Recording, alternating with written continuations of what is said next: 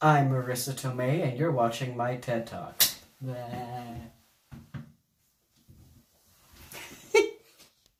she is also the friend of Opal the fairy, who is the cousin. Nope. Mm-hmm.